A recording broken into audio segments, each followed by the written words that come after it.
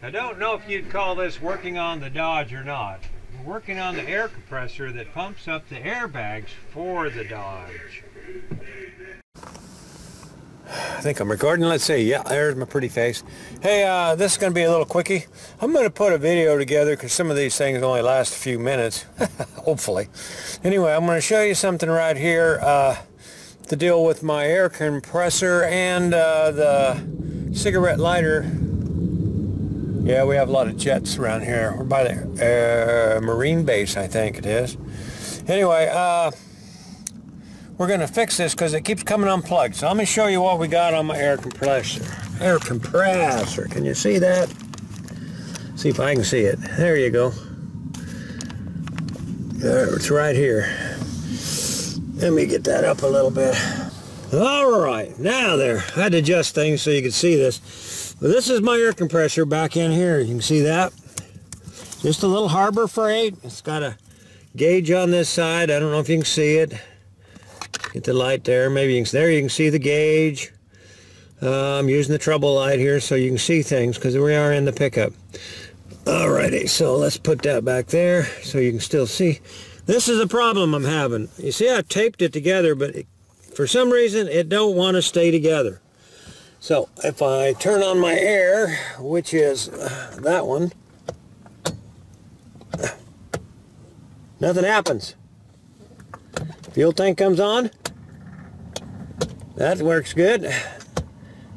That don't work good. So what we got, you can't see it, I'll show you in a minute. I'll put a picture of my switches. Switches are not working. See, that's not held together good enough. There, she's a working. All right. So, what we're going to do, the tape ain't holding. Going to take the tape off. Now, a friend of mine told me that this will work, what I'm getting ready to do here. And uh, so we're going to give it a try. The tape just won't hold it in there. I don't know why. I taped it up pretty good, but you can see that if I pushed it together, you could hear the motor running. And that runs my airbags. Okay, tape's off. Now then, okay, what? And it's upside, is it upside down? No, it ain't upside down. It's right. I'm upside down. Okay, see, what's happening is this is just not holding it in there snug enough. And you would think it would, but it's not. So what we're going to do, he told me to take wire ties. You've seen wire ties, you know what they are. So we're going to put one around here, loosely. Sounds like mailman's here. And we're going to run one of these this way. Gonna put two of them in there. Two on each, one on each side, like so. Can you see that? Okay, now we got one there and one there. Now I'm gonna take another one and I'm gonna run it around this part. Not make sure I don't get it looped around things I don't want looped. Okay, now we're gonna take this and I'm gonna tighten this up right here, like so. Now I'm going to go ahead and put them on opposite sides there, if you can see that. There we go. One's on one side, one's on the other. Hold them there, and I'm going to take this, and I'm going to tighten the crap out of that thing as tight as I can get it, okay? Now I'm to take this piece up here, make sure them are still on the opposite sides. Yep. I'm to take in this one up here and I'm going to tighten it up. Okay. Then, naturally I would end up in the wrong spot. Okay, now then I'm going to take these two. The wind just picked up. Guys, you ever been in one of my videos when the wind started blowing? Never happens, does it? Jeez. Okay, I'm going to take this. I'm going to take it through here. Because this is under the seat. Pain in the butt to get to. I usually just had Vicky wiggle it. Now I'm going to take this. And I'm going to take it and I'm going to tighten it up. Good and tight. And that should pull this piece up into that piece. Just like that. Now I'm going to take the bottom. To do the same thing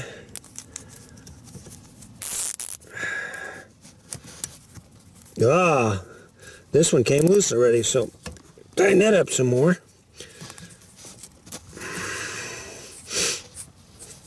Well, it's tighter now, that's for sure.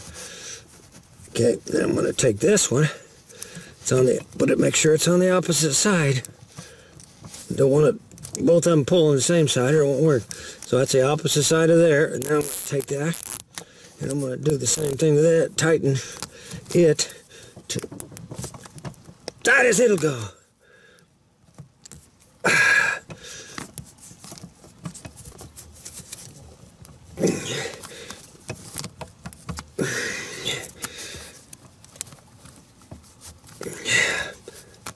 Okay, let's see if it works.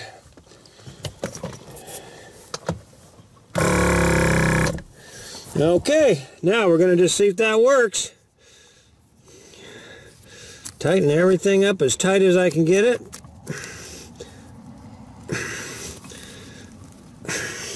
Then we clip off the extra.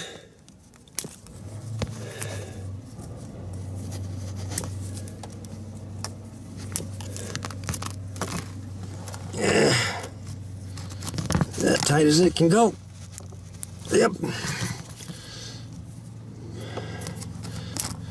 All right, now we're going to see if that works. It's all done.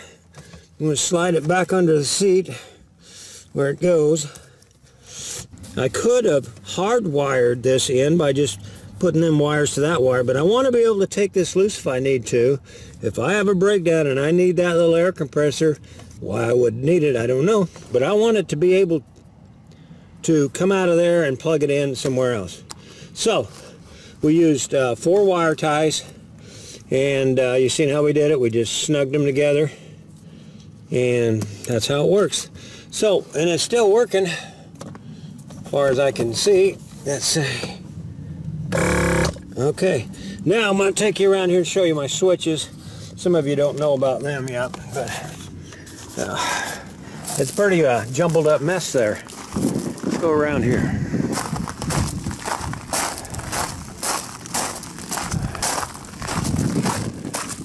Okay.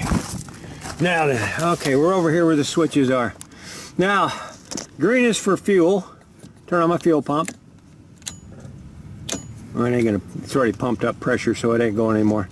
Uh, that's for my storage tank to pump the fuel from it into my main tank. Because on my main tank, I don't have a gauge on the storage tank, this one. no gauge. So what I do is I pump the fuel out of the tank into my fuel, main fuel tank, and then I just watch that gauge. So uh, I, if I keep that one full, reading full, and then uh, when I uh, uh run out of fuel in the storage tank, that'll start dropping. Otherwise it won't. I just run this until I get the fuel up to a certain point, then shut it off. And that's how that works. I don't leave it running all the time. Just to pump fuel in and I'll watch the gauge get up to a little under full, then I'll shut it off. Okay, that's how that one works.